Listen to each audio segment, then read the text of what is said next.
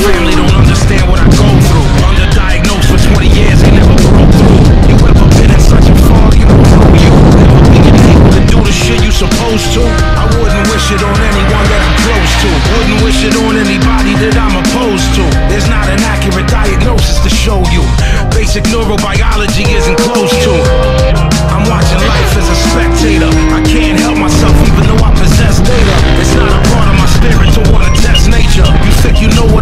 Cousin, and let's wager. I have trouble retaining new information. Familiar scenes start to look foreign to realization.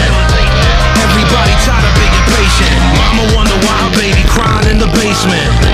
Constant rumination just exacerbates it to the point where I can't even barely narrate it. I've had doctors tell me that my mind is fascinating, but they can tell me why the sickness has been activated.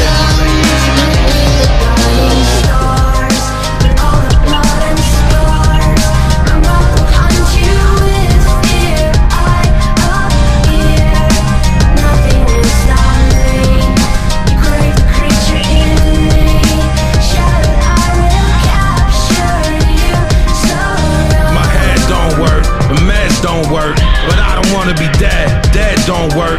Sleep the cousin of death, the bed don't work. Maybe I'd rather be dead. Dead don't hurt. Realization of an inherent emptiness.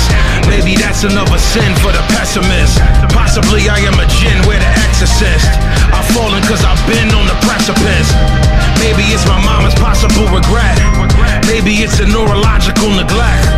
Maybe it's the reason why I water wet. The angular gyrus and where the frontal lobe connect.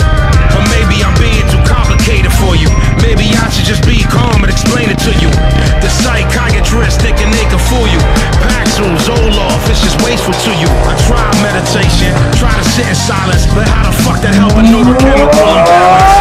How could you the person that ain't a challenge? The pain and peace around it. I always feel foggy somatic detachment.